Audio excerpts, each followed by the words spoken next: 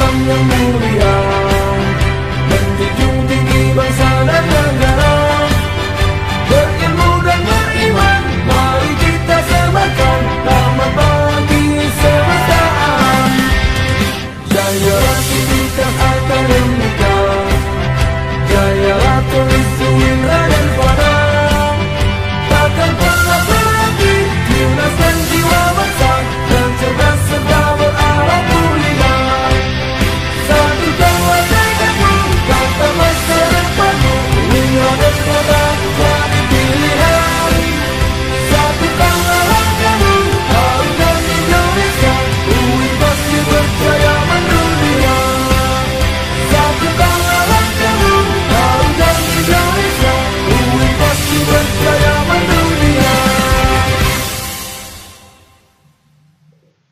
Universitas Islam Negeri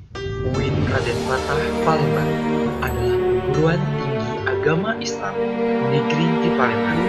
UIN Palembang diberi nama Raden Fatah, yaitu seorang ulama dari Palembang dan pendiri kerajaan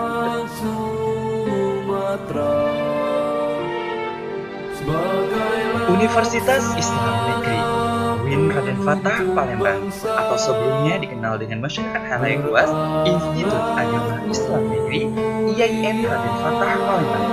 diresmikan pada tanggal 13 November 1964 di Gedung Dewan Perwakilan Rakyat Provinsi Sumatera Selatan. Berdasarkan surat keputusan Menteri Agama nomor 7 tahun 1964 tanggal 22 Oktober 1964 asal usul berdirinya IAIN Raden Fatah erat kaitannya dengan keberadaan lembaga-lembaga pendidikan tinggi agama Islam ada di Sumatera Selatan. Dengan IAIN Sunan Kalijaga Yogyakarta dan IAIN Syarif Darullah Jakarta. Cikal bakal IAIN awalnya digagas oleh tiga orang ulama, yaitu Kiai Haji Ahmad Rashid Shidik, Kiai Haji Husin Abdul Muin, dan Kiai Haji Siddiq Adi pada saat berlangsung Muktamar Ulama Indonesia di Palembang tahun 1957.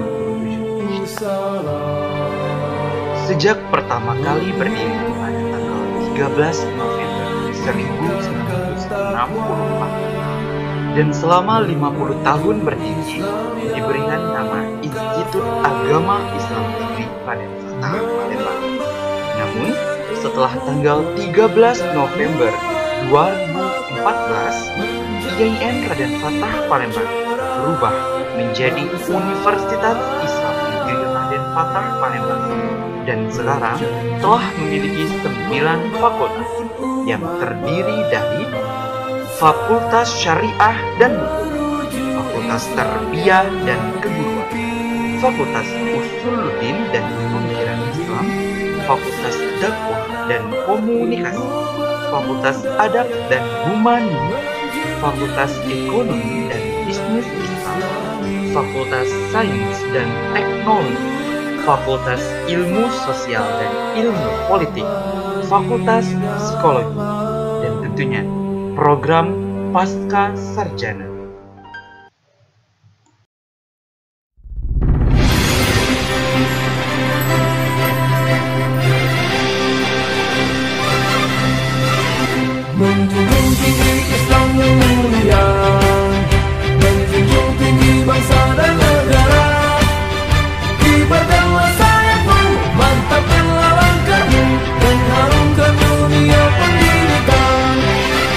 Got your